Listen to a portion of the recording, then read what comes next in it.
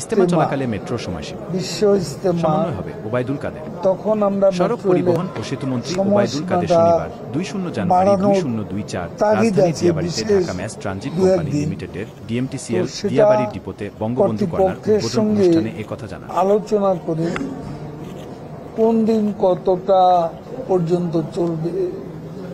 কারণ এই বিষয়টা আমাদের দেশে নতুন।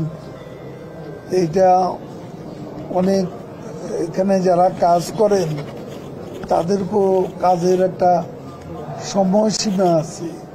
এবং আমাদেরও এখানে যে মেট্রোর আহ, লাইনের যে চলার যে পদ্ধতি এর মধ্যে খুবই সাইন্টিফিক ওয়েতে টেকনোলজিটা সাজানো হয়েছে। কাজে এর ব্যত্যয় ঘটলে সমস্যা হতে পারে। সে কারণে এখানে যারা কর্তৃপক্ষ এখানে এমডি আছেন সচিব আছেন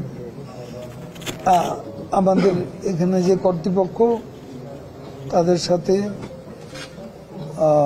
ইস্তেমার ইস্তেমা এবার দুই ভাগে না এক ভাগে হবে।